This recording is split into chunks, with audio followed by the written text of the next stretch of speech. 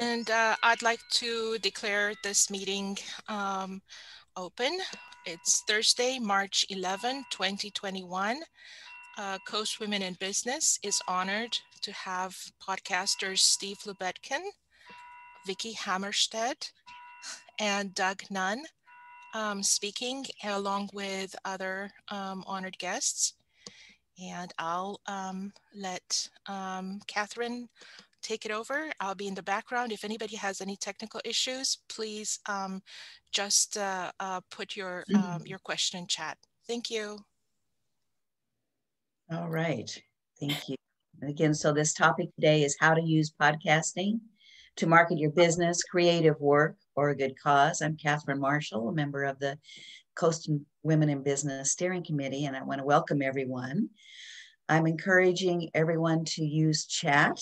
Uh, a couple of things here. Uh, first of all, I'd encourage everyone to uh, go ahead and introduce yourself through chat. Uh, feel free to put your website up or your email address.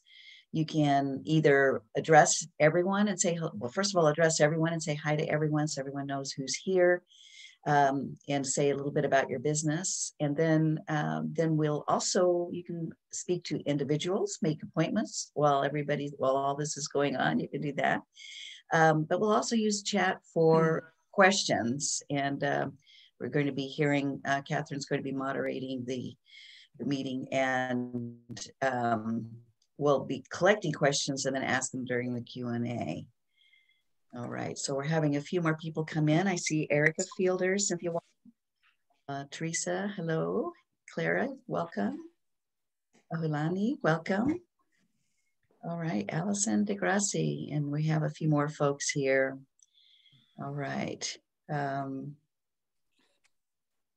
see, we're not going to do introductions at this point. Catherine, did you want to suggest that we uh, people just say a few words, or how would you like this to go?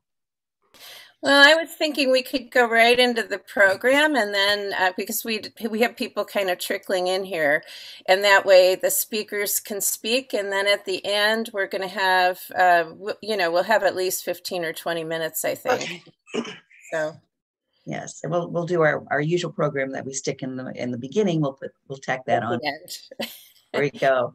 Since we so, have three speakers yeah. from all over the place, so well, uh, this topic came to the fore because actually several of us have been thinking about doing podcasting ourselves. And we had the usual questions like if you have a company, how can you use a podcast to market your company? Can you make money for just from podcasting? Is that an income stream that's viable? Uh, if you're a writer, a creative person, how do you use podcasting to market your books or your artwork or whatever you're creating? If you work in a nonprofit or you're trying to raise money for a good cause, can you use podcasting to do that? So I'm going to kick it off with our first speaker, which is Steve Lubetkin.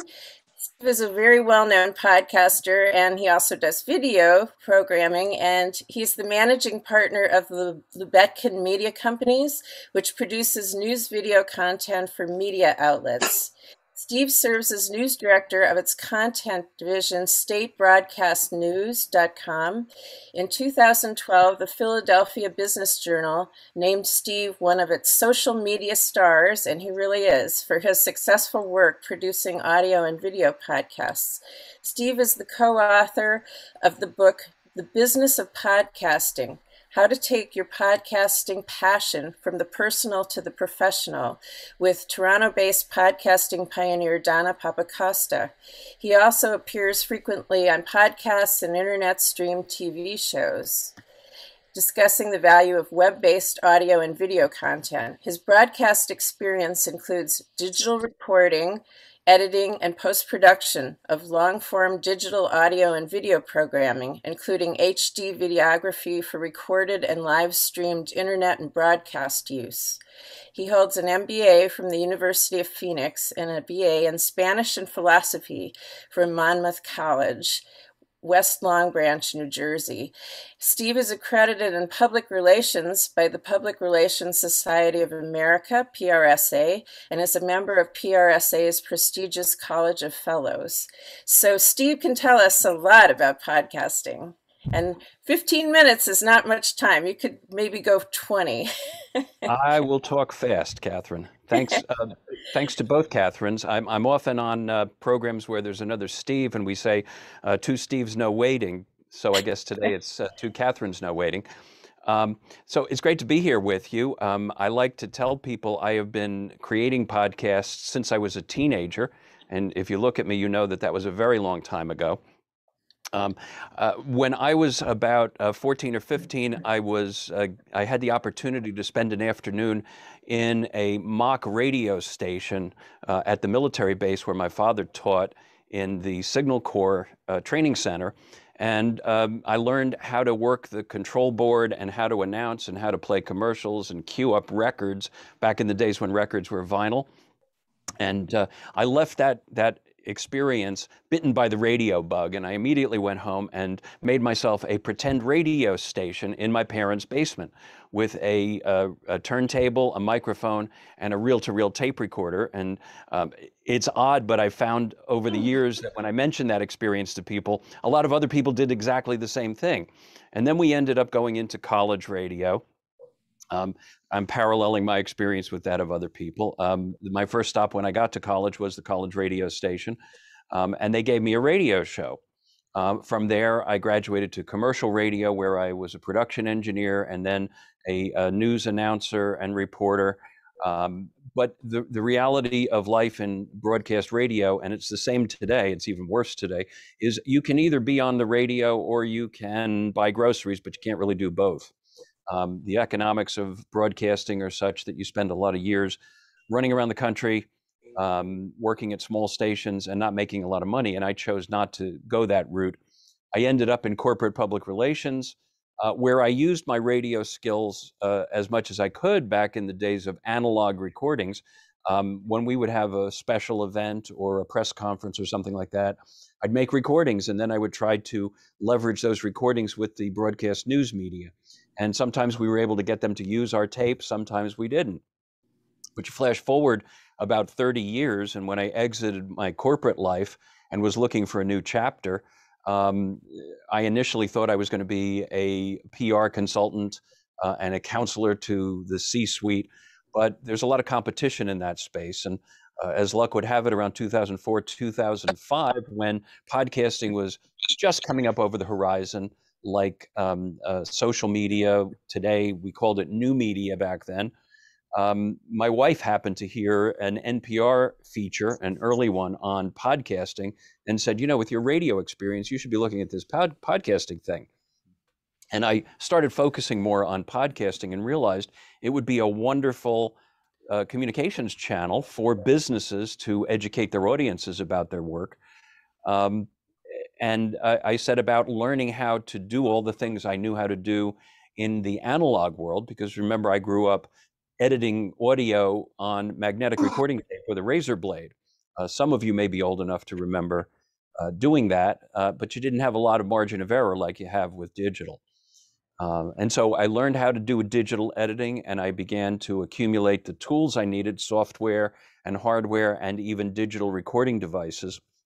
And uh, the book that Donna and I wrote, The uh, Business of Podcasting, um, stems from the experience where I found myself producing podcasts for corporate clients and trying to make them sound as as good as or nearly as good as what you would hear on NPR or the Canadian Broadcasting Corporation, good quality long form audio.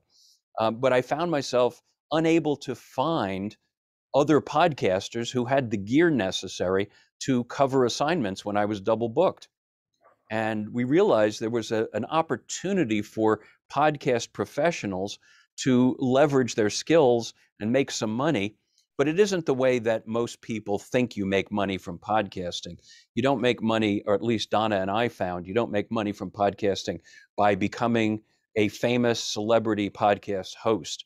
Um, the large media companies kind of have that market locked up. There's going to be very, very few podcast professionals who break through that. because there are literally millions and millions of podcasts.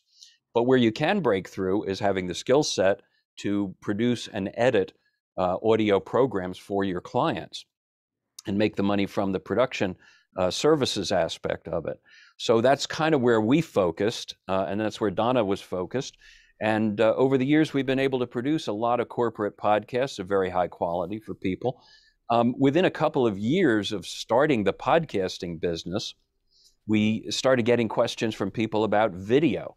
And I wasn't really prepared for video. I'm not one of these build it and they will come people who um, invests a lot of uh, money in buying equipment before I know that it's going to get used and is going to get paid for. Uh, and so, um, again, my wife said to me, What's keeping you awake about the business? And I said, You know, I'm worried somebody's going to call me and say, We need you to do a video tomorrow. And I don't have any gear, and I'll be running around like a crazy person trying to get the gear. And she said, Well, you know, why don't you price out some gear and, and get yourself some used equipment so you can get started? As luck would have it, I had a friend who was retiring and he had a, a side hustle from his day job where he produced uh, wedding and bar mitzvah videos. And he was retiring, shutting down the business. And I said to him, What are you going to do with your cameras? And he said, I'm thinking of selling them. Are you interested? And I said, I'll be over tonight. And that's when we bought the first uh, video gear.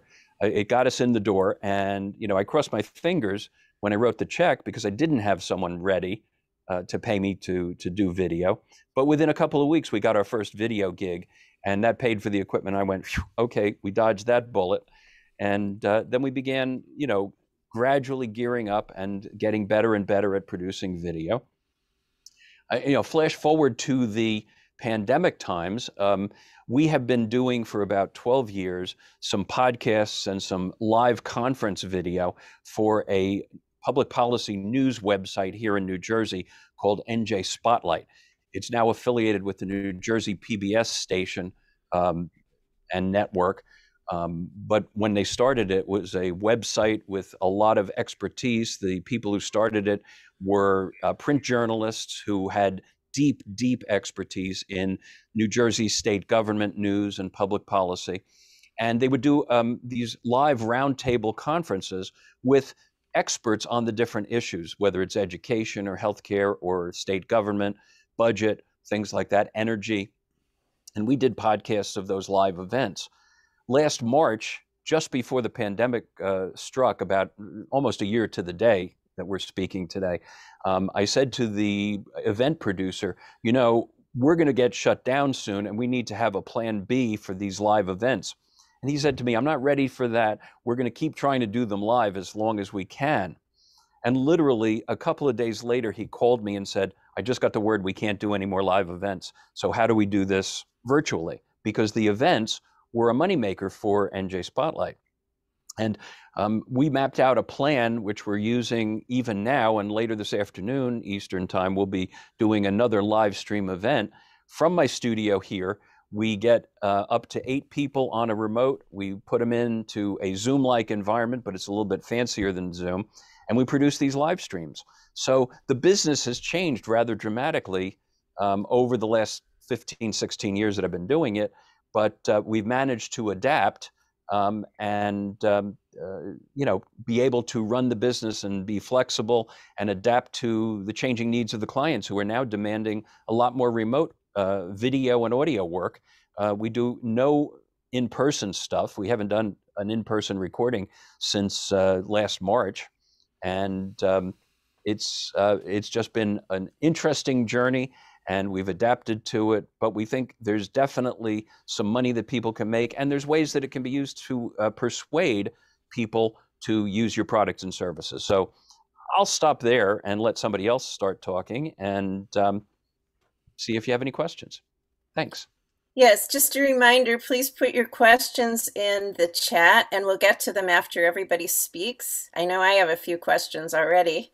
So, next we're going to Vicki Hammarstedt, architect and director for the Berkeley Advanced Media Institute at the School of Journalism at UC Berkeley. I think that's the grad school, right, Vicki? It is. Yes. Uh, Vicki is an entrepreneur with a passion for all things digital.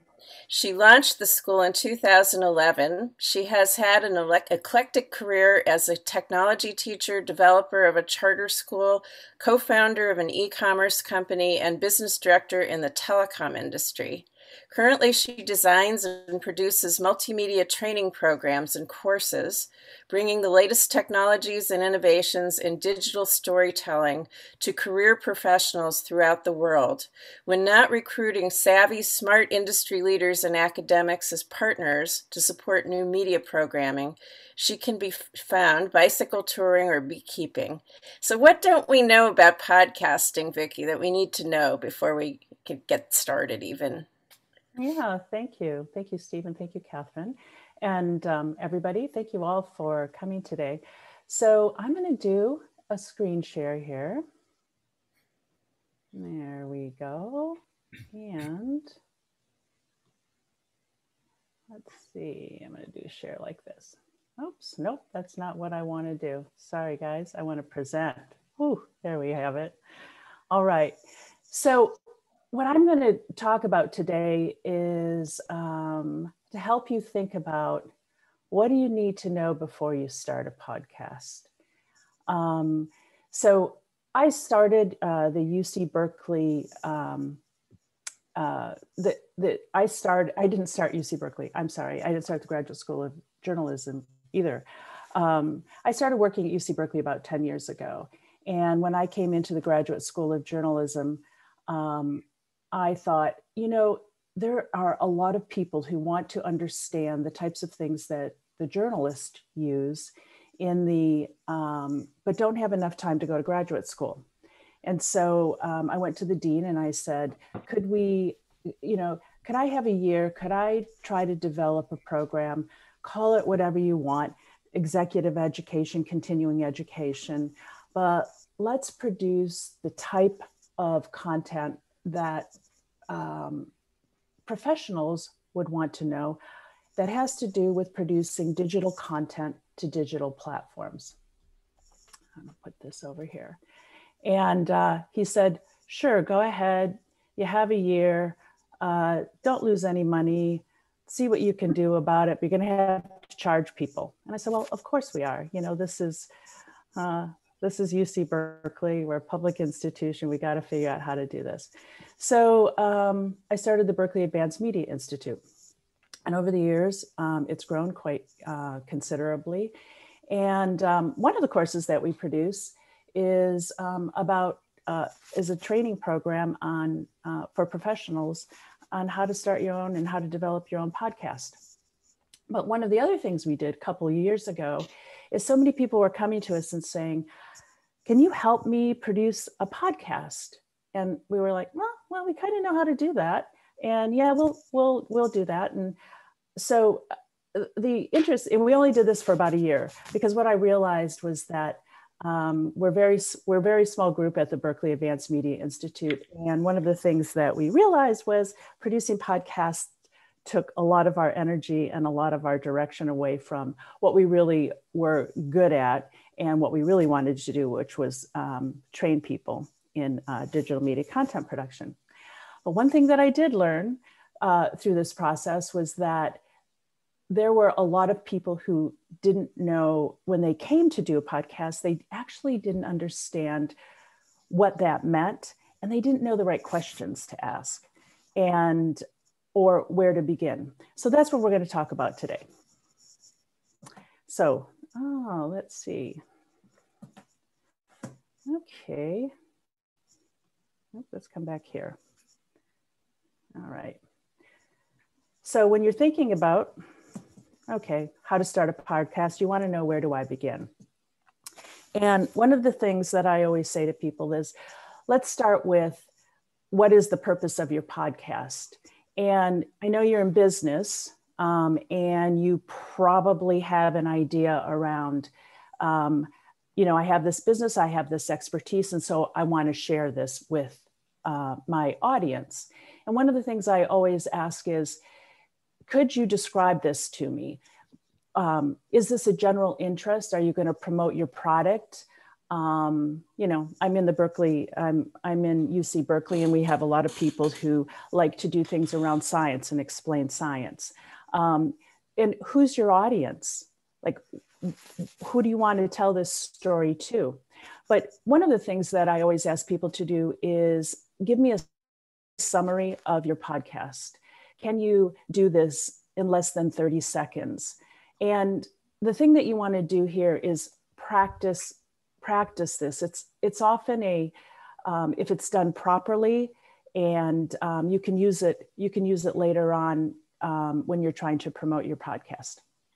But I have an example from um, one uh, from a good friend, Anna Sale, who's the creator of Death, Sex, and Money, um, who has actually taught for Berkeley AMI many times. And Anna Sales started her podcast, I think, in 2014 with WNYC, and it was the number one podcast on iTunes um, when it came out. And if you ask Anna what um, the podcast is about, and she says, the things we think about a lot and need to talk about more.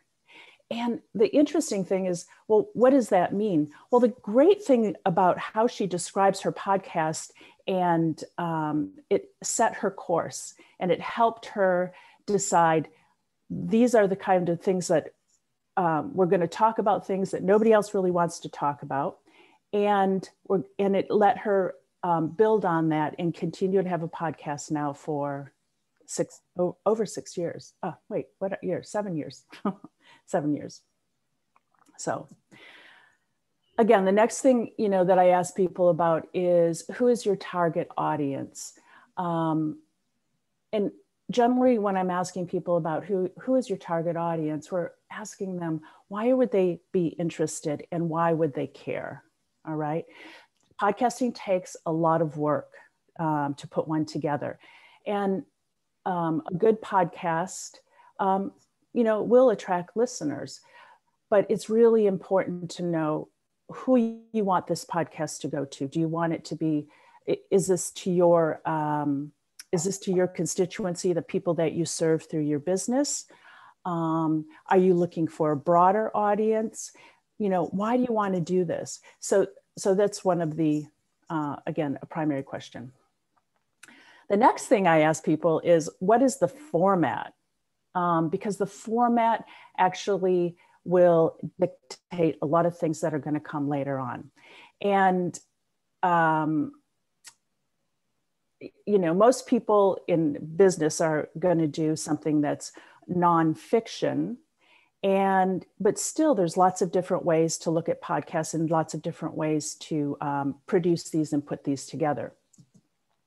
So, well, this is an example of a podcast um, like the Truth Podcast, which is fiction, has a lot of different people. It is a, it's a fairly high um, production value.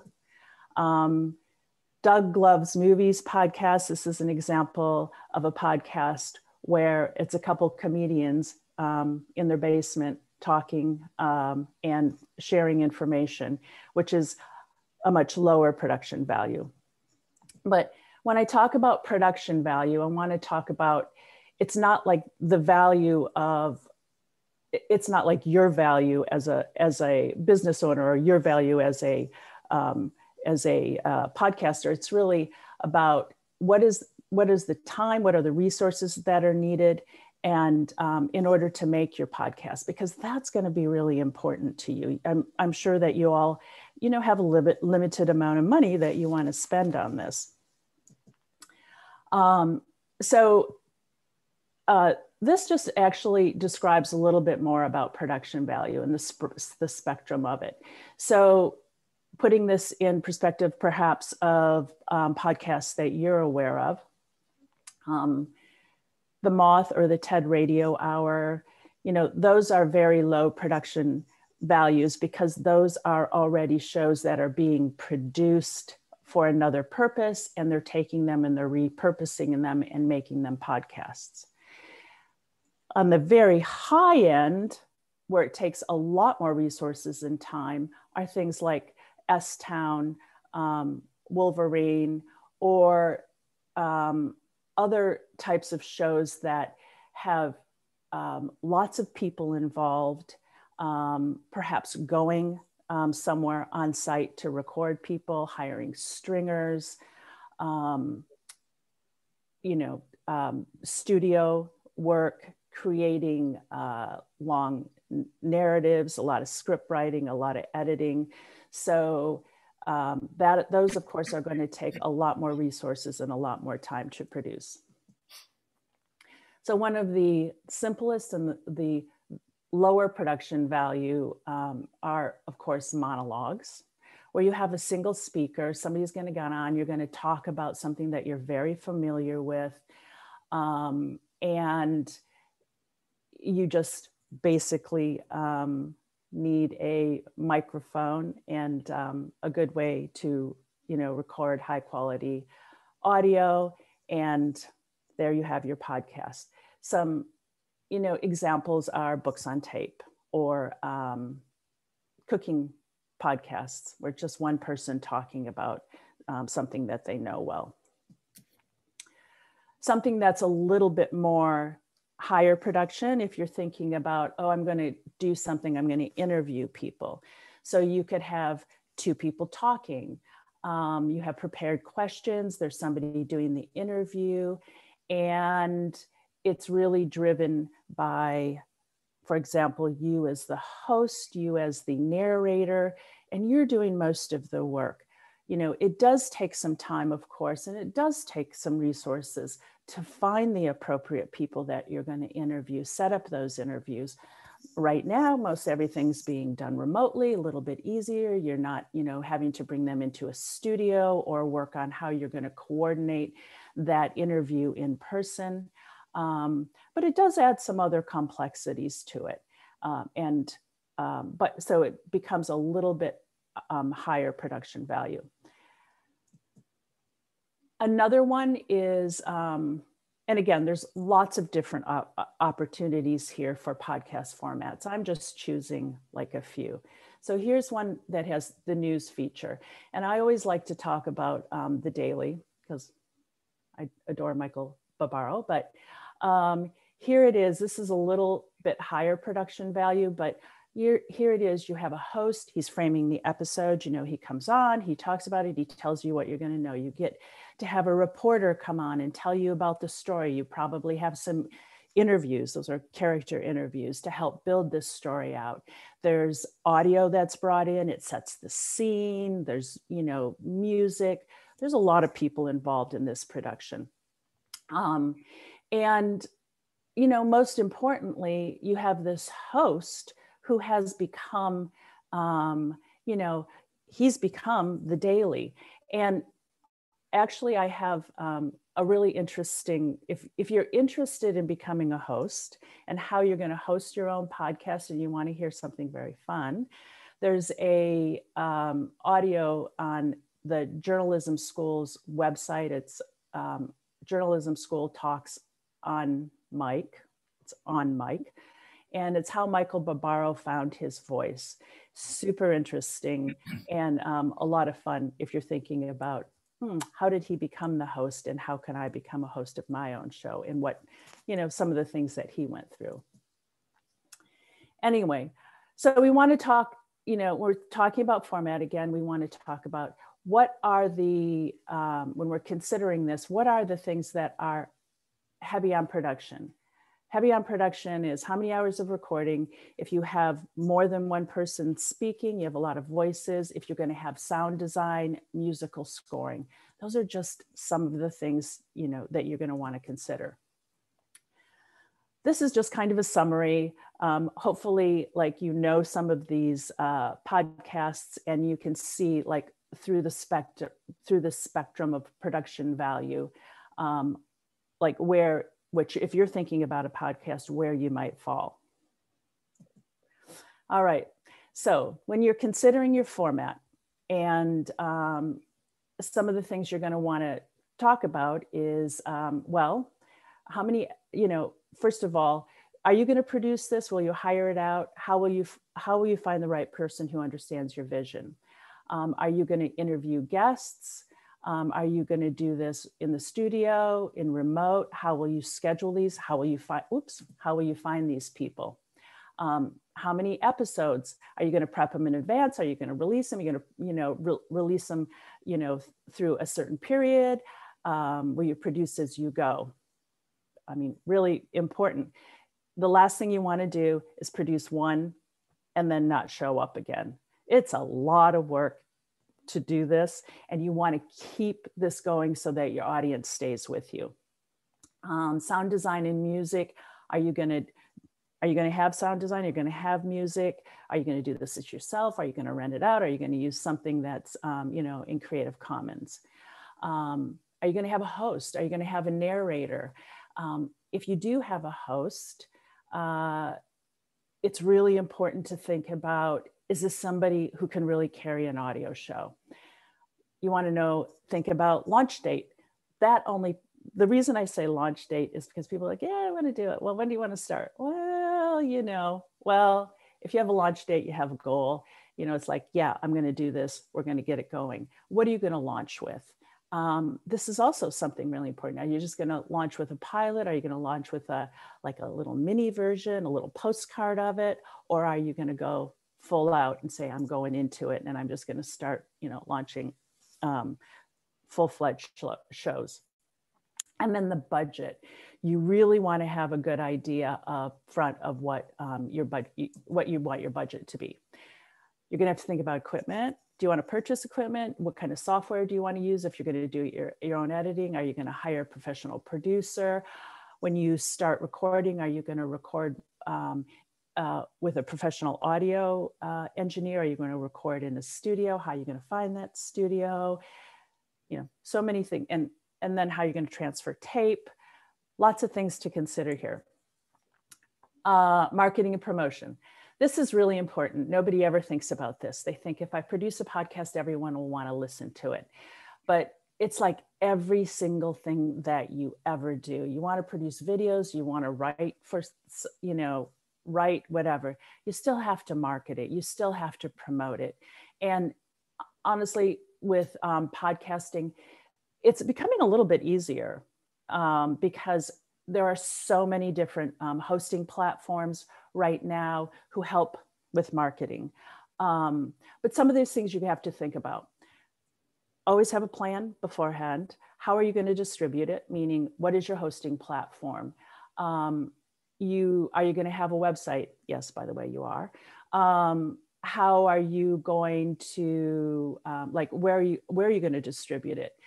um, by the way, if you have a hosting platform, they give you an RSS feed. The RSS feed then feeds into iTunes and all the major um, uh, platforms for distribution. Let's see. Um, advertising, how are you going to advertise it?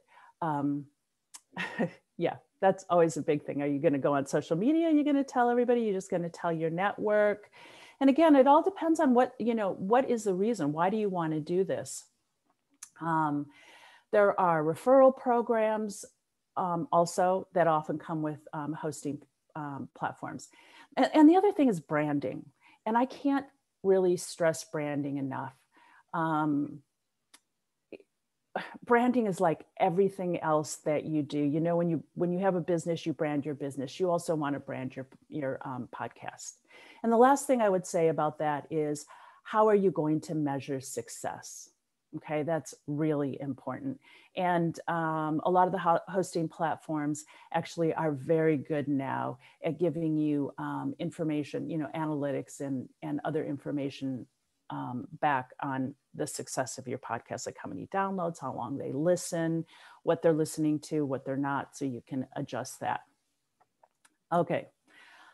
The last thing I want to say is about resources. Um, this is so I was I was like, oh, my resources. Where's my resource list? So of course, um, I would say at, at any time, if you go to Berkeley Advanced Media Institute, look at our tutorials. One of the things we're we're still a public institution. Um, we were one of the first people actually to start developing tutorials in digital media content production, which is really funny um, because now everybody does it.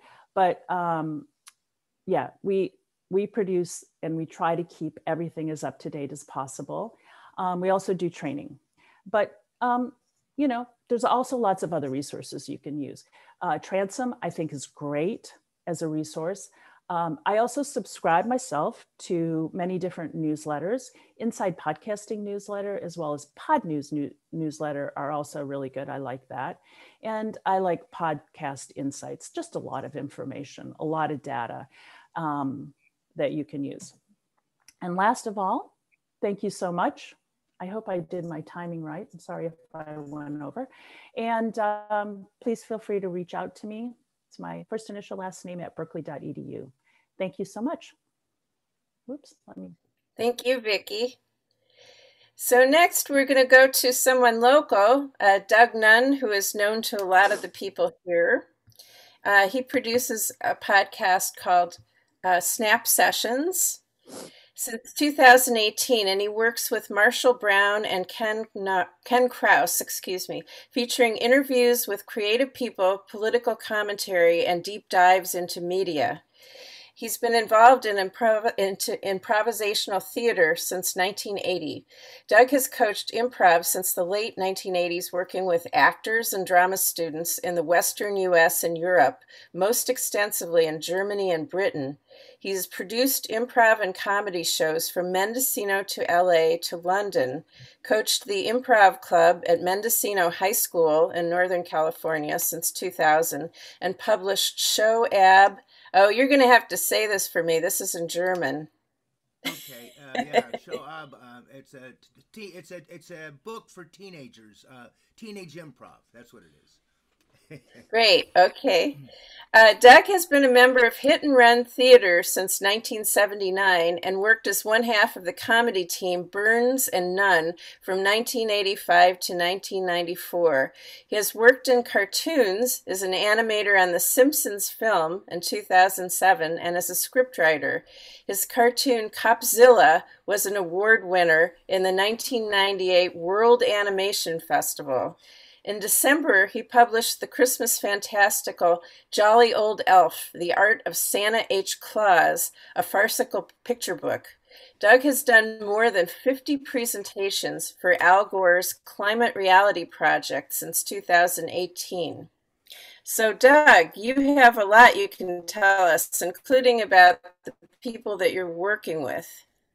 Yes, thank you very much, uh, Catherine, and uh, thanks to Vicki and Steve and um, Marinella and everybody. I'm glad to be here.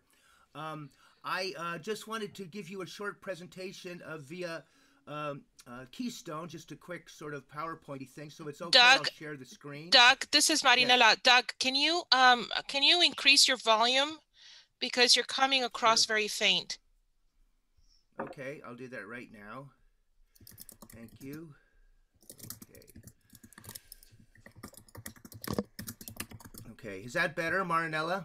No, it's yes. about this. Can you hear it better? Because I can. I still hear is it very better, faint. Marinella? Now it's better. Yes, just now. Okay, great. I'll go ahead and I'll go ahead and go with that. Thank you. Okay, thank so, you. I'm going to go ahead and share the screen if it's okay. And um, let's see here. I've got that and I'd like to share uh, share a, a, short presentation with you. We are indeed uh, the Snap Sessions, and that includes myself. I'm in the middle there, and it also includes Ken Kraus on the left and Marshall Brown, or here Marshall Brown on the left and Ken Kraus in the center. Um, uh, Marshall Brown is our producer and tech meister. He does the web design and the web upkeep. And Ken Kraus is uh, does a lot of the voiceovers. He's our segment editor, sound producer, and he's a, basically a sound engineer. And uh, I also do voiceovers, and I do the writing and the interviewing. And uh, so we're the we're the three of us for snap sessions. It was interesting to hear Vicki talk about um, all the different jobs and everything that people have. Uh, we do it all, and we're a little bit like a mom and pop and a teenage son kind of uh, grocery store. Uh, we do everything. We we we load the shelves. We do the cashiering. We do everything. So we're always hustling, the three of us, and um, we we want to give you a little background. Um, Marshall, who is teaching at Mendocino High School, he's the tech teacher. He does the audio, video department, etc. And I had taught with Marshall for some years. In fact, he was an ex student of mine. And uh, when I retired as a teacher in 2008, uh, 2017 in the summer, Marshall said I handed Marshall a bunch of my old movie and film books and video books, and Marshall said, "Here's a book for you to read." It was a book on how to do podcasts, and of course, I had uh, listened to podcasts, but I had thought. Um, I, I, I was very interested and read the book and I thought I'd get back to it. Marshall said maybe me and you could do something together. So I came back with some ideas and thought maybe I could interview uh, fellow artists. I knew a lot of people in show business. I knew a lot of visual artists, etc. And so uh, we thought of that as a basic thing, and then also to do some opinion pieces. Marshall teased me. He goes, You know, Doug, you're always pontificating about something. Now's a chance for you to do it in a podcast form. So we started with that. And Marshall and I initially started to try to do it together. And then Ken Kraus, who's my hit and run theater comrade for the last 12 years or so, Ken also does voiceovers and he's a sound engineer. So Ken uh, and uh, and Marshall and I sort of mutually approached each other, and we got Ken on board. And ever since then, we've been working to hammer it out.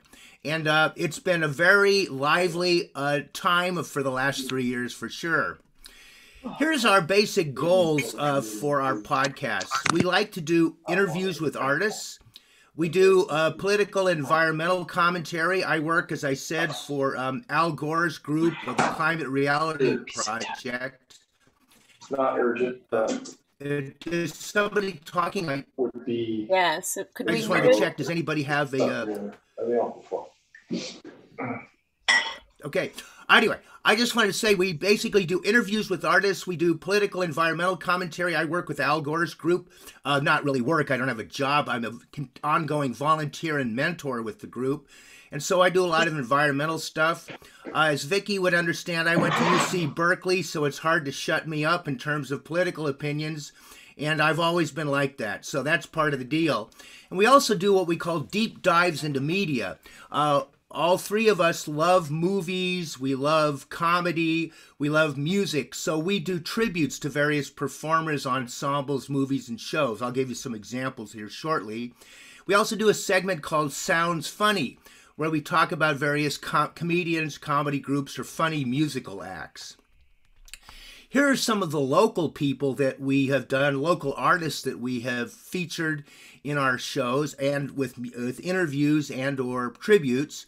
We've talked to James Maxwell. If you look upper right here, this is one of Max's um, paintings with the so-called seagull paintings he did for the old seagull restaurant. This is the Pied Piper, which is one of Max's. We interviewed Max uh, about a year and a half ago uh, for a broadcast. We interviewed Steve Weingarten, also my old hit and run theater friend, who's a sort of a, a ceramic and stone worker, where he interviewed uh, Bill Stoneham, bottom right. Bill, that's one of Bill's paintings called um, see the the room whispers to her i think. And um, bill is a painter who now lives up in washington state. Uh, he's made a living as an artist for years. And then the left side is jessica Morsell who is the owner of the golden west saloon. She's also a fort bragg city councilwoman. And she's been a graphic artist for about uh, 17 18 years working in pattern designs. We interviewed jessica. And we've also interviewed a variety of, of other people uh, not only locally, but uh, we get around, so to speak. Uh, the left hand side is our logo maker, Daniel Stieglitz, who's from Kassel in Germany. Um, Daniel is an old improv student of mine. I do uh, coaching tours in Europe. And uh, Dan, Dan is a terrific guy. He's one of those fast caricaturists who can do a caricature in five minutes and uh, you can sit down in front of Dan. Five minutes later, you walk out with a caricature. We interviewed him for our show last summer. Uh, he's part of our team. And then upper right is Caitlin Berrigan, who's sort of a, a conceptual artist slash video artist who now lives in Berlin. She grew up on the Mendocino coast, and I've stayed in touch with her for years. And then bottom right is uh, Evan Mills, who's a scientist from Lawrence Labs in Berkeley who lives in Mendocino.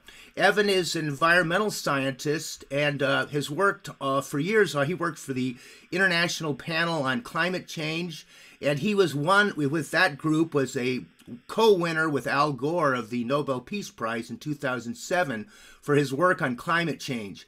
It's absolutely fascinating interview we did with him, and it's in our January episode two months ago. We've also re, uh, done a lot of entertainment. Uh, left hand side here is Edi Patterson. She's in our newest episode, which just came out this past week. Beginning, we our episodes always come out the beginning Sunday of the month. That's our thing. That's Edi. She's in um, The Righteous Gemstone. She's one of the writers, actresses in that show.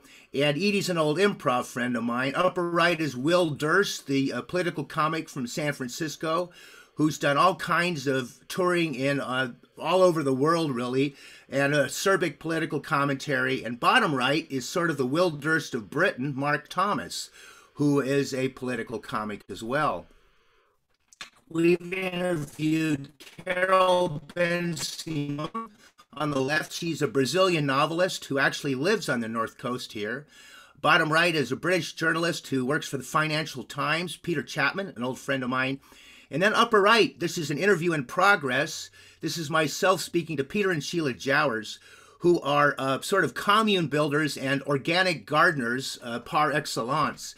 They are really uh, uh, fascinating, interesting people. We did an interview with them in last May's episode. Um, really great people. I've known them for years and uh, seen them raise their girls. And they've done all kinds of commune building work in Western England. And they also participated in a BBC show which was about commune building. We've covered events like the Mendocino Film Festival. This is one from 2017. We actually covered the 2019 Film Festival. And then last year, when there was no festival because of COVID, we uh, put out the episode as sort of uh, to honor the Mendocino Film Festival. As you know, that's sort of on hiatus right now. And uh, we're hoping that it comes back, but we wanted to honor them. And then we covered the opening of the Fog Eater Cafe, which is a small vegetarian restaurant in Mendocino. And I interviewed the people before they opened, while they were opening, and then a couple of months later. And we wanted to follow the, the building of a new restaurant. It just so happens that one of the owners is my stepdaughter, so that was kind of an easy interview. but um, anyway, it, it's, uh, it's, it's, it was a fun sort of thing to follow. And then the bottom right is a group of people with Al Gore's Climate Reality Project. I was trained in 2018 in the summer in Los Angeles. And I went, uh, when I went, I took my little recording, my little Zoom recording device along, and I interviewed a bunch of people. I didn't get to interview the big guy himself. Um, he was all a far away, austere figure up there. But um, I did interview a lot of people from Africa, from Mexico, from other Britain, from other places in the world. It was a fascinating time for me, and it's led to a lot of interesting things. And we also do uh, goofy stuff. Uh, Ken and I, and Marshall as well, are all, uh, you know, Ken and I work in hit and run theater, so we do a lot of improv comedy these days. But over time, I've also written a lot of goofy stuff, and here's three examples. Um, we did uh, last May. Uh, we did an episode called Seven Days in the Mesozoic, which is from an old short story I had written. It tells the last seven days of the dinosaur imperium, uh, uh along the lines of the famous film book um, Seven Days in May about a coup d'état in the United States. And Seven Days in the Mesozoic tells the story of the last week of the dinosaurs before the comet strikes. And um, uh, what's going on is the meat eaters of Dinosauria are um, plotting to overthrow the vegetarians. And this tells the whole background story as sort of a radio show. Um, upper right is the uh, story of the Irish persons the Irish Persons was kind of a subset of hit and run theater, a fake um, Irish political folk group who uh, did all kinds of, they were on the front lines of the anti nuke movement for years and so on. Um, and it this tells the story of the refinding of the Irish persons and what happened to the group, told through the eyes of a fake uh, a folk music uh, sort of uh, culture uh, reporter by the name of Karen Crust paid, played by our own Ken Kraus. So that's a 20 minute episode, 20 minute a story, a mockumentary. And then we have the whole album as part of that. We did eight songs, recorded them in the late 80s, and then we found a couple of recordings. So that was really fun. We did that this Christmas, this past Christmas. And then bottom right is a version of the Nutclucker, which was uh, Harry Rothman and my production of the Nutcracker Suite done by Chickens. That's uh, Chick Klucksky's Nutclucker, and that came out in the Christmas of 2019. So that was a fun one to do. So in other words, we we're, we're we branch out. We're definitely a, a wide-ranging audio magazine. We also I mentioned this um, uh, funny of uh, sounds funny or this this aspect of our show. We've covered Spike Jones. I don't know for some of you, uh, Steve mentioned for some of you who go way back. Um, I go way back, Steve. I'm with you on this. Spike Jones, I used to listen to and love when I was a kid. My dad played Spike Jones. My grandparents played Spike Jones. Uh, Betty Boop, another one. Uh, I covered. We covered a uh, the story of Betty Boop, which is actually a fascinating political story of the 1930s. Um, she was kind of uh, an oppressed cartoon figure who uh, ended up being sort of not really blacklisted, but uh, definitely they put the clothes back on Betty Boop, so to speak. She was seen as a fla- flagrant floozy at the time, and uh, the the first motion picture codes really went to work on here. We've also covered people like Denis Diderot, the inventor of the encyclopedia. It was really fun to do research on him. And then we also do, like I said, uh, political stuff that's uh, more overt, uh, political. Uh, we uh, first episode we came out with also had a thing about the GI Bill. Uh, I was fascinated uh, during my childhood hearing my father talk about the GI Bill and the difference it made in his life. My dad graduated from high school in Vallejo, went right to work at the Mare Island shipyard in 1948 as a welder's apprentice. His family was working class, my mother's family was too. My dad went to Korea in 1950 in the Navy, and four years later, he came out and he ended up graduating from UC Berkeley with a degree in electrical engineering in 1958. He made the middle class. It was the GI Bill that did it. And um, uh, this kind of social engineering in American history is much undervalued. And uh, uh the, doing this story really gave a, gave you the feeling of what it meant. I, I talked about my father's story in that one. And then, of course, voter suppression, an ongoing theme in American history. Uh, we did a, a, expose last May on this, and as Ken reminded me the other day, we should resurrect that and redo it. Sadly, we should probably do an article on voter suppression every three months in this country. And then we've also looked at American exceptionalism and how that's touted, etc., over time. Upcoming episodes. Uh, we have uh, Michael Gene Sullivan and Velina Brown of the San Francisco Mime Troupe are the interviewees in the next two episodes. Michael Gene Sullivan, the very handsome guy on the left who looks like Harry Belafonte, if you ask me, the young Belafonte. Um, he is a terrific guy. He's the writer in residence at the San Francisco Mime Troupe. As you know, they're a much decorated uh, political theater group in San Francisco, and he's been writing for them for 25 or 30 years and he is a terrific actor singer. His wife, Velina Brown, is also a great actress singer, and she's done all kinds of recording and directing. They're the next two months, April and May. And then bottom left, Dan O'Connor, the guy in the middle who's holding his cufflinks. Dan is from uh, Impro Theater in LA, so the next three months are sort of theatrically oriented. And then bottom right is Emily Jane White who's a former uh, student of mine who uh, is now a very famous folk singer. I had no idea. These things just kind of pop out. Um, I found out by interviewing Caitlin Berrigan a couple of months ago that Emily Jane has a huge following. And I interviewed her and find out she has five and seven million hits on various of her folk songs. So she'll be out in July. And then finally, I wanted to mention her next to finally here these are some upcoming uh, articles we're going to be putting out. Uh, one on the filibuster, the history of the filibuster. Of course, this is a very pertinent issue uh, in the United States, and we see Strom Thurmond up there.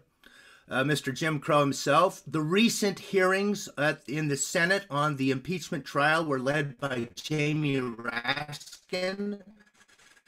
We're doing one on the people involved in that. Uh, the history of vaccination. Um, there's been, I used to work in the environmental science class at Mendocino High School, and I used to do a vaccination week to find, to talk about pros and cons of vax, to deal with those realities. We've done a huge, uh, I did a lot of research on this one. I'm very proud of this article, which should be coming up soon. An ode to Second City Television from Canada, very funny group. MF Doom, the rapper, who I didn't know much about. Marshall Brown is leading one, uh, a, a uh, an article on MF Doom, and then the Texas energy crisis. And we're resurrecting an old hit and run character to talk about uh, Tex his last name rhymes with Ritter but starts with an SH. So he's going to be doing a little bit of an expose on the Texas energy crisis. Snap sessions, we do our best to get our the word out. We're on Apple Podcasts, we're on Spotify, we're on SoundCloud, we're on Google Podcasts. Um, of course, we would like more people to hear our stuff, but we try really hard. We get it out every month onto those. Marshall is key to this, and he does a lot of the work to smooth our way out onto the um, onto the general market out there. We um, get our supporters, our um, uh, our various uh, helpers, and so on from Patreon subscribers. Uh, if you become a subscriber to Snap Sessions or a follower, if you would like to call it, you could become a mini snapper at $5 a month or $5 per episode. And you could see you would get a certificate of appreciation as a mini snapper uh, uh, right there. Or you could become a Snappus Maximus for $35 an episode. And uh, we have a few Snappus Maximus people at this point, I must be honest and tell you that we pay for ourselves. We we're on Go we have a Google Office suite that we pay for. We have our uh, Patreon, we have Libsyn, we have a variety of other things. So we could definitely use some help. We're looking for sponsors. If there's any amongst you uh, powerful businesswomen of the Mendocino Coast who are interested or back at Lubetkin Enterprises in New Jersey, we would gladly welcome further sponsorship or support. Um, we enjoy doing this very much and would like to follow through.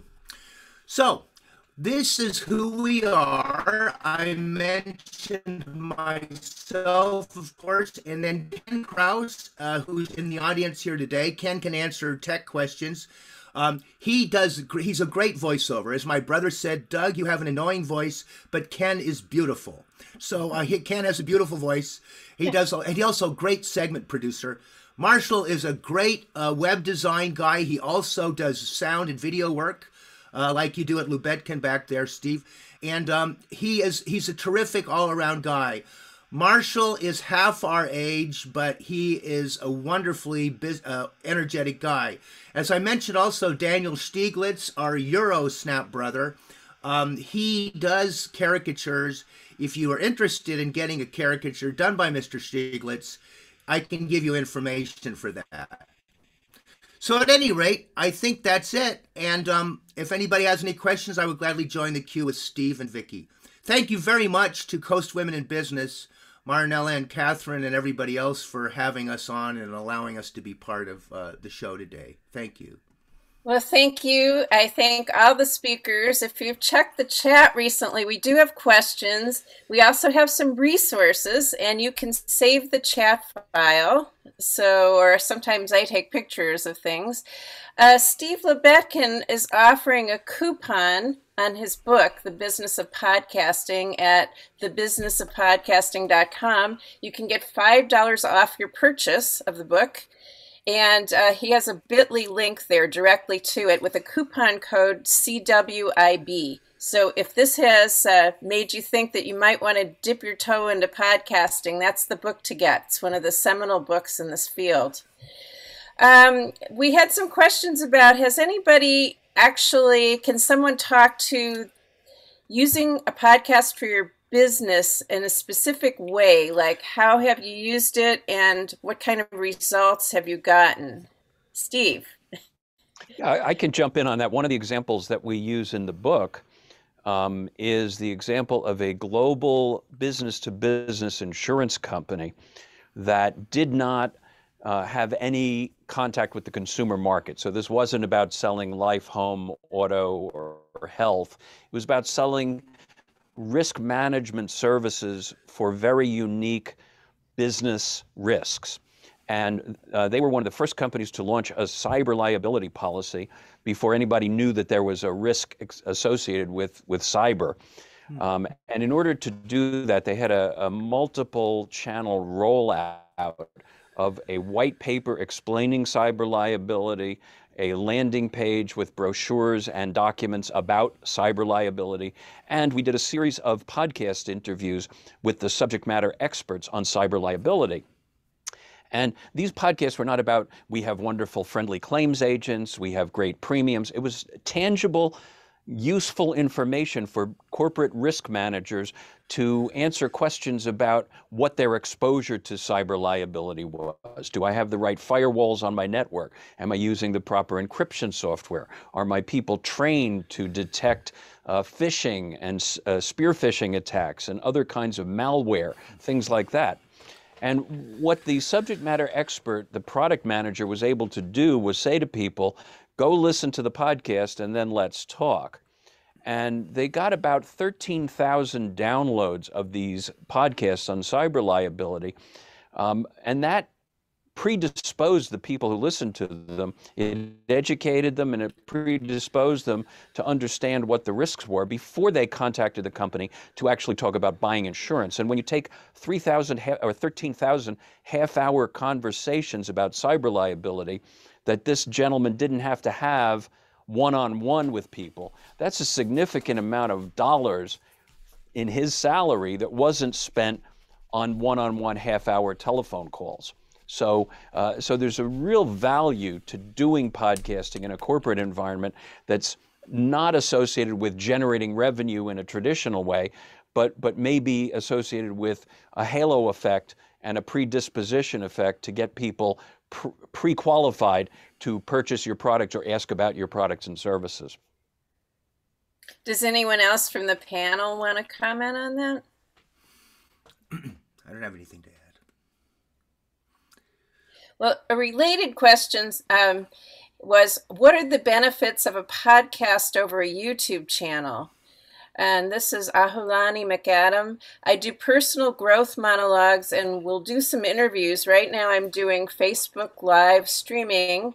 Uh, people seem to connect by seeing me, but I don't know the pros and cons of the platform. So, what would be an advantage of podcasting over, say, YouTube or some other video platform?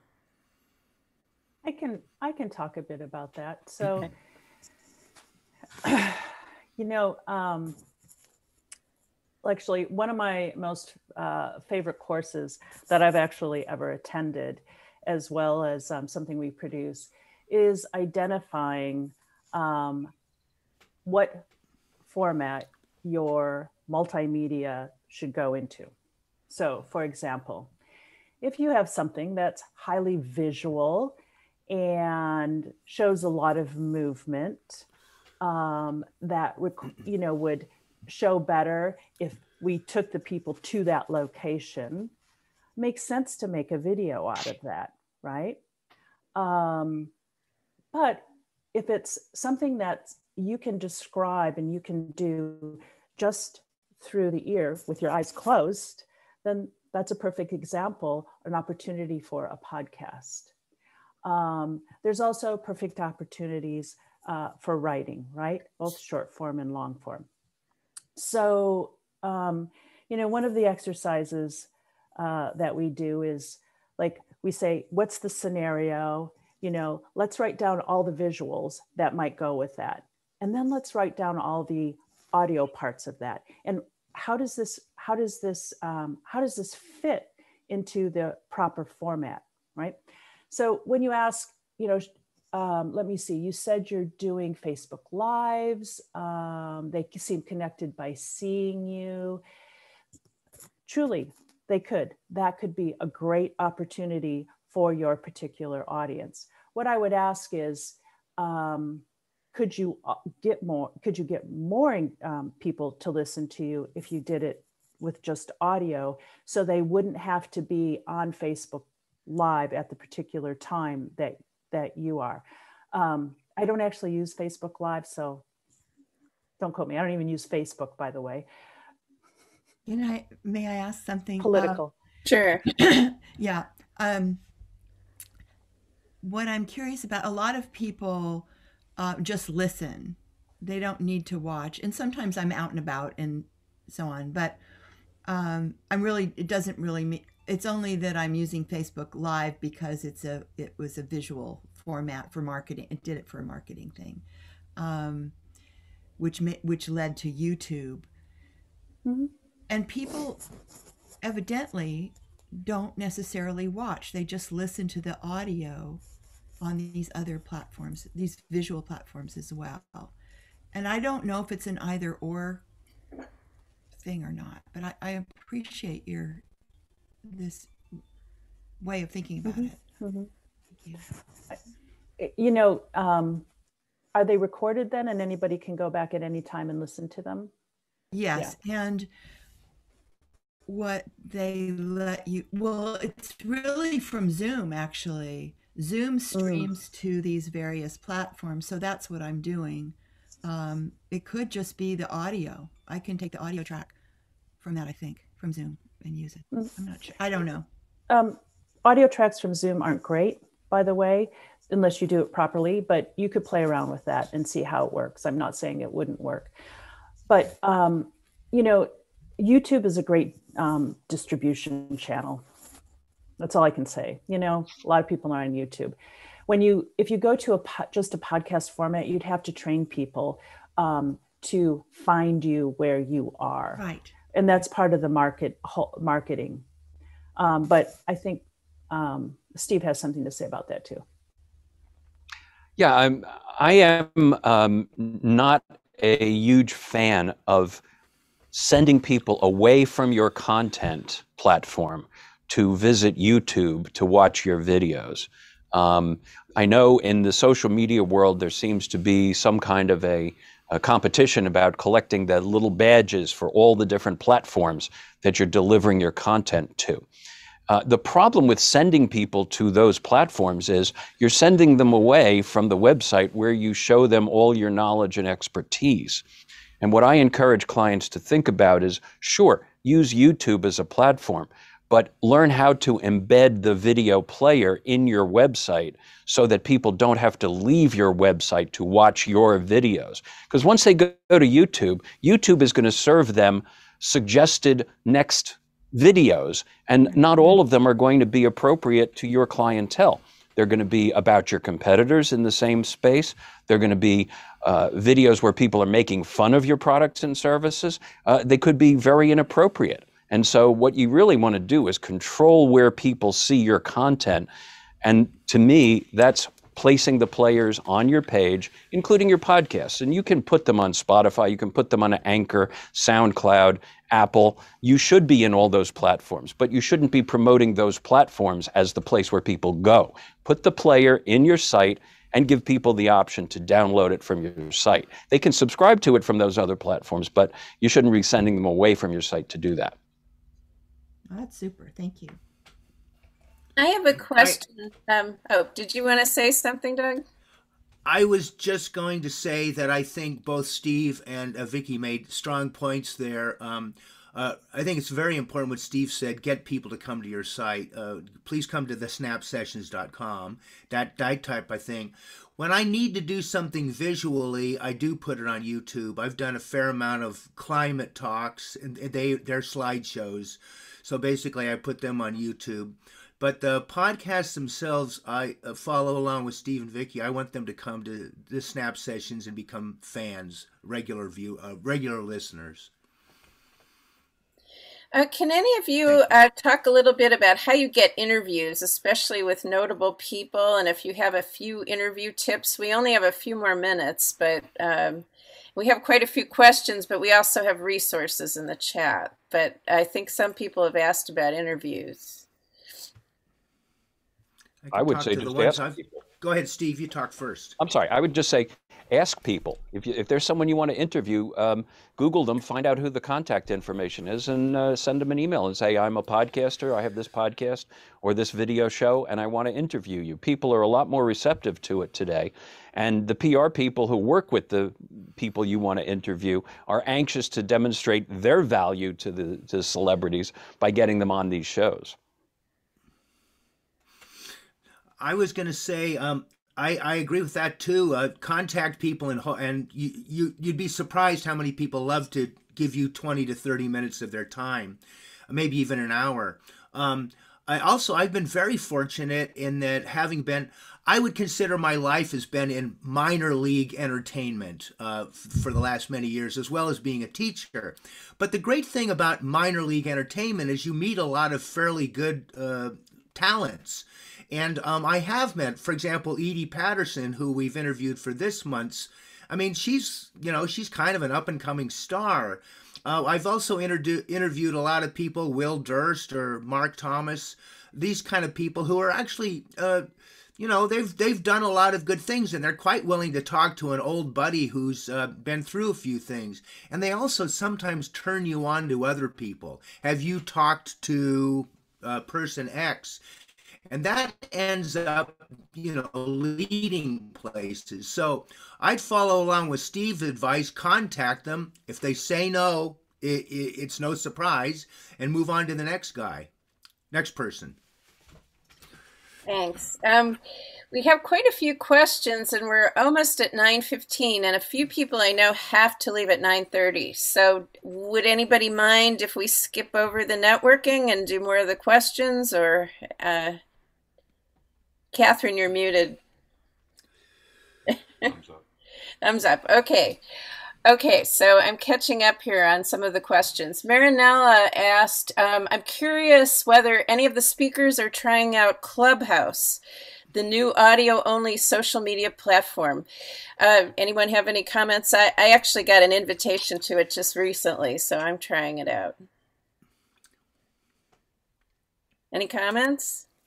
I, I don't know anything about it.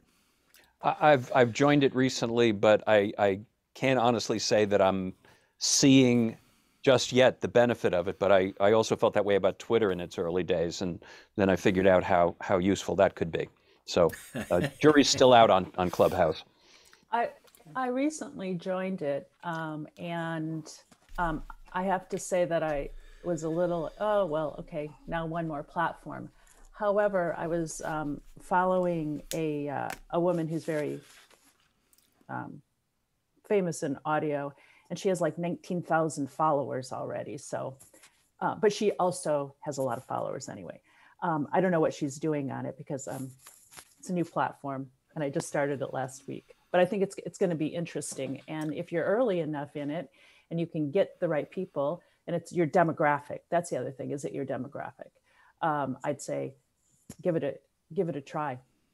Um, one thing I wanted to uh, I saw somebody asked about recording a, you know how do you record inexpensively? I don't know who did who asked that question, but um, you know that is a really good question. You know how could I start a podcast and do that? So uh, we actually teach people how to do this and a couple there's a couple of ways that we um, suggest if people are just starting out and you don't know for sure if you're going to do this and dive right in. You don't know if you want to hire a professional audio engineer. You don't know if you want to go to a studio. Um, so one of the ways is on your smartphone. You can do pretty high uh, quality recordings on your smartphone with the right microphones and the right setup. It is entirely possible and it does sound pretty good. There's also ways to do remote interviews um, with somebody else, with them um, using their smartphone and sending you the file. And that's really important because I know somebody mentioned doing it on, you know, doing something on Zoom. Fine, do it on Zoom, but don't use a Zoom recording. That's my uh, suggestion. Then there's also um, audio recording devices from Zoom but that is not the Zoom that is the one we're on right now. So it's audio recording devices on Zoom. And um, one that we use for beginners is the H1N. It works fine. It's like $99 on Amazon. Um, although let me warn you, it requires a little mini SD card, which nobody has uh, in their offices. So you do have to get that too. But um, it works as a, you know, in-person uh, recording device. Again, it all comes down to um, what kind of microphones are you going to use? Are you going to use lavaliers? Are you going to use reporter mics? Are you going to use the built-in mic?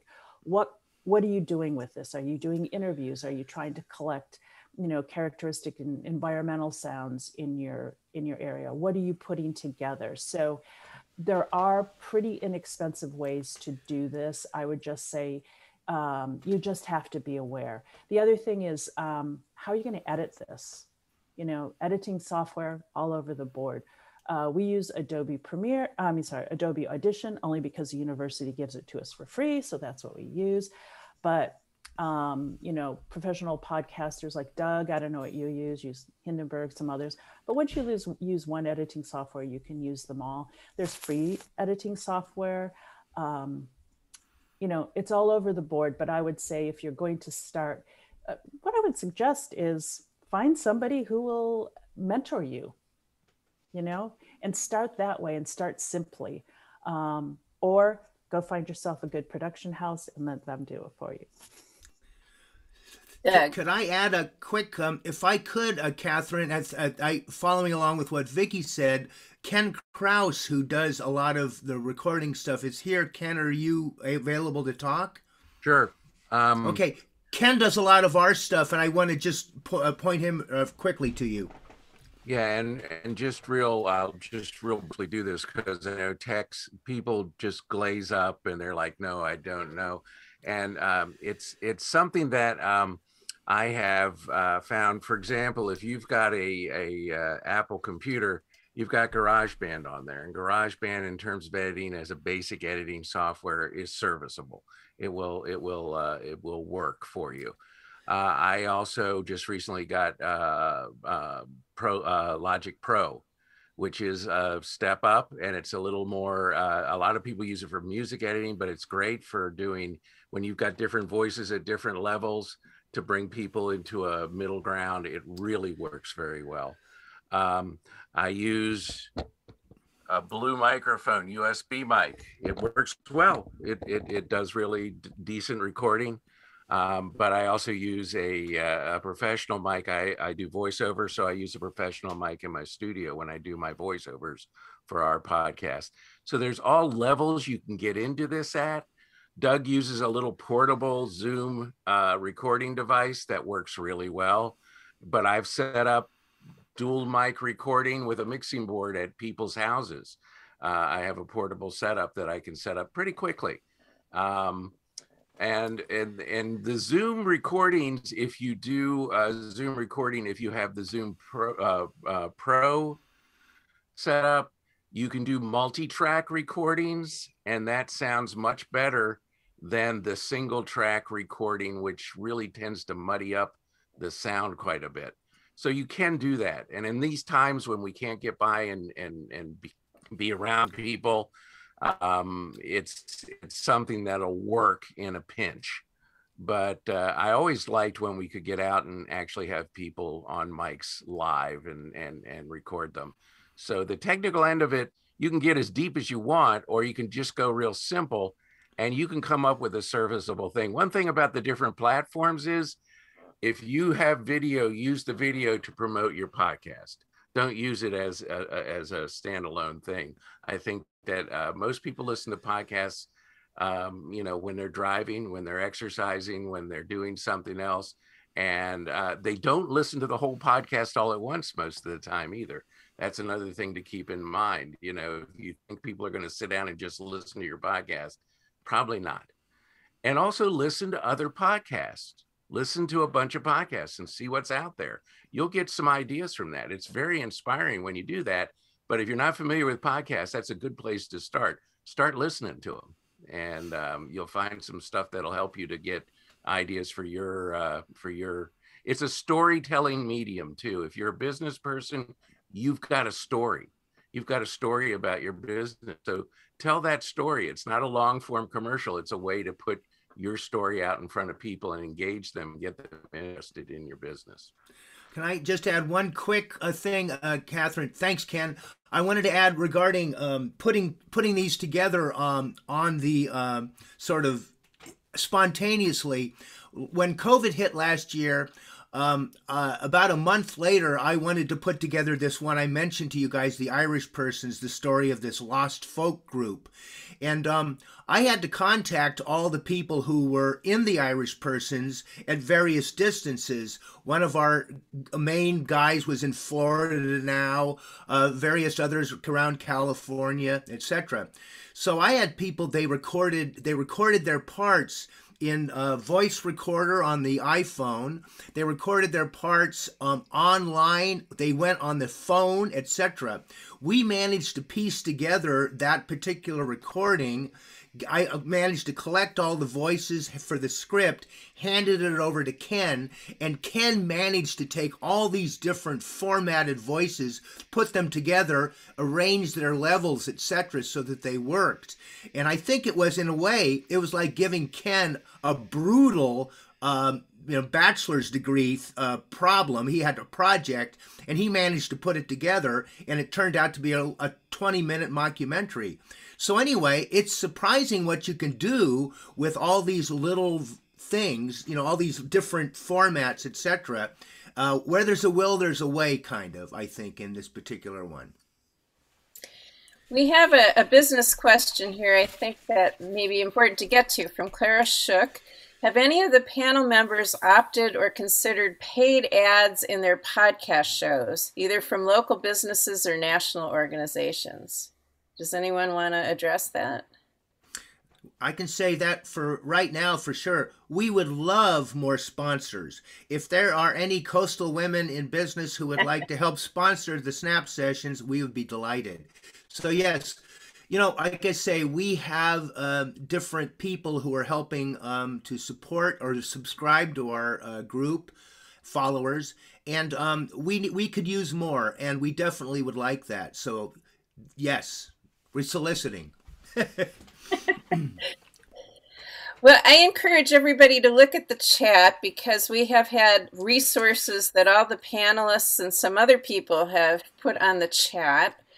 Um, I'm trying to see if there's anything that I've really missed here. There's a lot of resources, so be sure to download the chat. Um, does anyone want to say more about suggestions about marketing and how to find your target audience?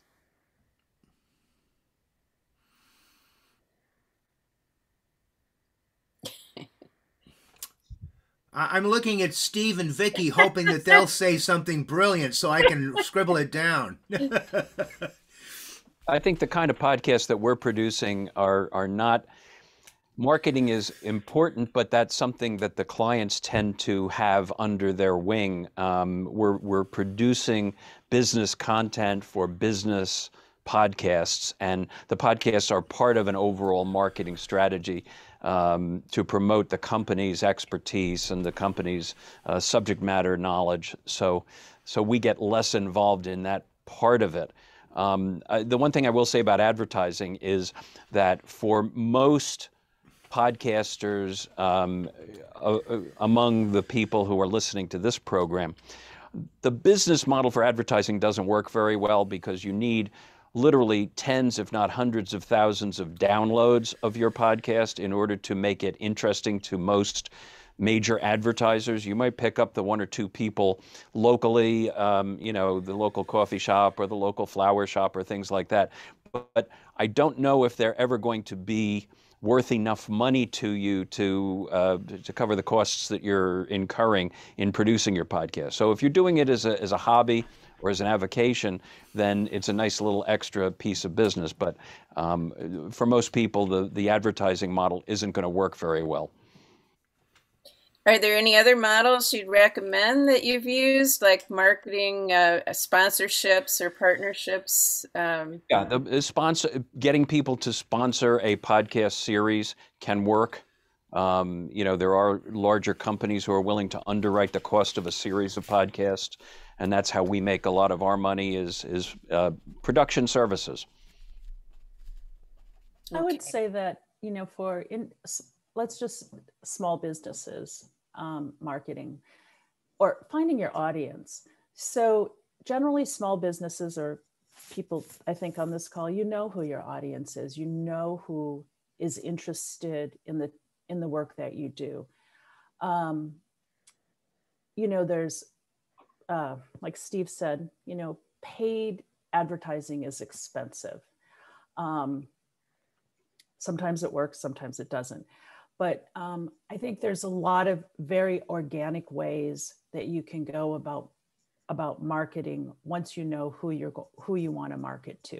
For example, um, you're you're probably not marketing to children. You're probably marketing to, you know, adults of a certain age group who have certain interests. Um, and you can start by organically doing this um, on social media if you have social media channels. Um, you can do this through, you know, email marketing. Honestly, uh, Berkeley AMI, when we started, we had no budget, zero. In fact, we almost have zero budget right now as well. And everything we do is organic. We do it through SEO of our website. Um, we don't use social media because I won't use Facebook. Um, but um, we do it through um, our our email marketing and our website, and also through LinkedIn Organic. And that is actually um, really valuable for us because we have a professional audience. Um, if you're if you're looking for a uh, let's say a regional audience, I mean, is anybody looking for a regional audience? Or are you looking for a global audience? Are you looking for people in the United States? You know, it really depends on what you're going for. I, I always say if you're looking for a global a global audience, um, start local and grow. unless unless for some reason you've got a great partner who's going to help support you um, globally. But um, yeah, there lots of different lots of different avenues, and the most important thing is like to start figure out what do you want out of these people? Where do you actually want to drive them to? Like we've talked about you know don't drive them to youtube. Do you want to drive them to your website? What's on your website? How are you going to keep them there? And what do you want out of them once they get there? And then go from there also, as a digital marketing person, I wanted to add that um, you can start with whatever statistics are already available to you. If you have a website, look at who's visiting your website, look at who's commenting, if you allow comments on your blog posts, for example, um, and you can get demographics from that. If you have a Facebook page or any other social media, again, look at the analytics and then you extrapolate and you set up a marketing plan. Um, I can help you with that, but uh, West Center also has some really great advisors and um, and uh, training um, in the Mendocino County and, and Lake County area. Basically, you start with your assumptions and then you validate them, just just as if it's a you know a, a science project. And I agree with Vicki. You start locally. You start with people who either know you personally or have heard about you, and then you grow. And you try to just focus on a couple of market segments and and then you know as you grow your audience you can get more ambitious and do a more ambitious marketing plan for for next year keep in mind that the statistic for conversion on a website for example is only 1% typically. So you know um, you do need to have quite a bit of traffic to to get uh, a consistent loyal base. But it can happen you know uh, if you have uh, content that's engaging that's um, interesting or humorous or motivating whatever your your approach is I, I need to interrupt because Steve needs to go. He has. I, go. I got a client waiting for me in the. Bye, in the Steve. Zoom room. Nice to meet you. Thank you. Thank you so much. I want to say uh, thank you to all our speakers. What were you going to say, Steve? I was just going to say, um, if anybody has any questions, they can contact me. I'm happy to talk.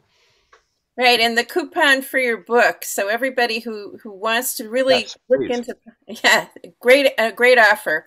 One more Um, shot of the book. We're almost at 9:30 and I think Marinella also has to go. Uh, I want to again thank all the speakers and for all of you who've come. I hope everybody's learned a lot. I've learned a lot from this. And so uh, thanks again. And next time we're going to do one on video. Uh, does anyone want to say something brief? Mar- Marinella? Yeah, yeah I, I, can mention it. So it is going to be April 8th, uh, pretty much the same top, same kind of, um, we're getting in how to market your business with video on April 8th at 8 o'clock. Okay. Thank you. Thank, Thank you very you. much. It was Thank a pleasure so to be involved. Thank oh, you. Thank you. Thank you. We'll post all resources to our website, so please check the blog section. Thank you. Everyone, wonderful meeting.